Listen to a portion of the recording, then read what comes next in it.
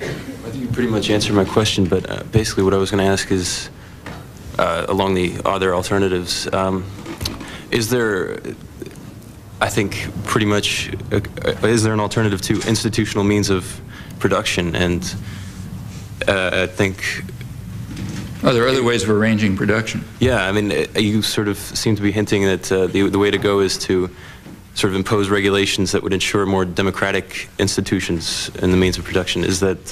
Well, I think it's not so much impose regulations that would ensure it. I, I, I think um, absolutist institutions should not be given legal status.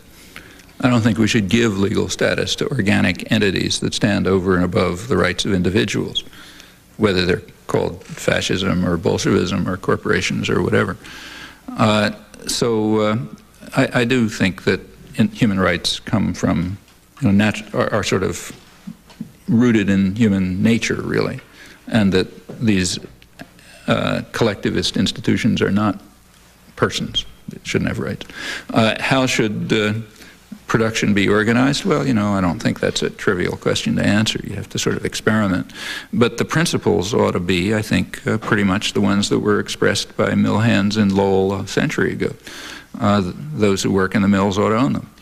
And they ought to carry out uh, democratic decision making about how they work in conjunction with communities who play a role as consumers and families and participants and so on.